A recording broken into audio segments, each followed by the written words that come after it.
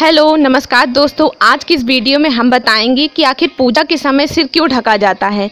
पूजा के दौरान सिर ढकने के पीछे वैज्ञानिक और धार्मिक कारण क्या हैं?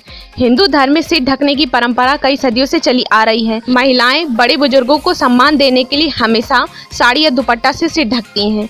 वैसे तो सिर ढकना सम्मान का सूचक होता है, लेकिन पूजा पाठ के दौरान सिर ढकना न केवल महिला, बल्कि पुरुषों के लिए भी ज़रूरी होता है।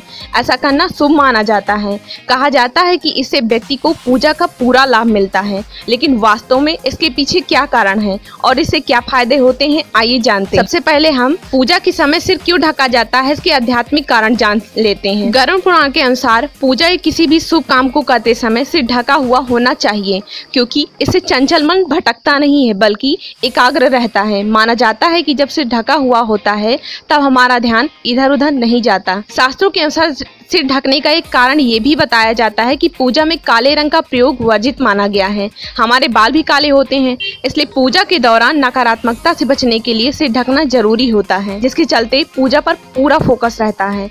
इस नियम का पालन करने से लोगों को भाग्य का साथ भी दोगुना मिलता है। अब ये जान लेते हैं कि सिर ढकने के पीछे वैज्ञानिक कारण क्या है।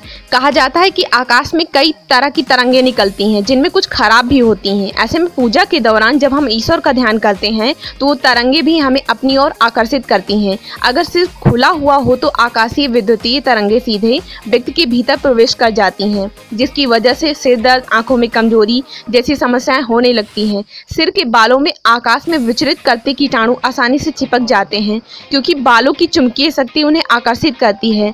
ऐसे में ये कई सारे रोग का कारण बनते हैं। सिर ढककर पूजा करने के पीछे वैज्ञानिक कारण ये भी है कि सिर ढककर हवन में बैठने से आग की लपटों से शरीर का तापमान नियंत्रित रहता है। कई लोगों में बाल झड़ने और डैंड्रफ आज जैसी समस्याएँ होती हैं। ऐसे में पूजा की सामग्रियों में बाल या डैंड्रफ गिरने से वो अशुद्ध हो जाते हैं।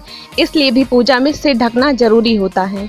सिर ढककर पूजा करने के पीछे एक वजह वातावरण को सकारात्मकता बनाना भी होता है। माना जाता है कि सिर पर पल्ला डालकर बैठने से व्यक्ति की मानसिकता बदल जाती है, इससे वो ज़्यादा आस्थावान बन जाते हैं। इससे व्यक्ति के शरीर से निकलने वाली ऊर्जा से उसके आसपास का माहौल अच्छा बनता है।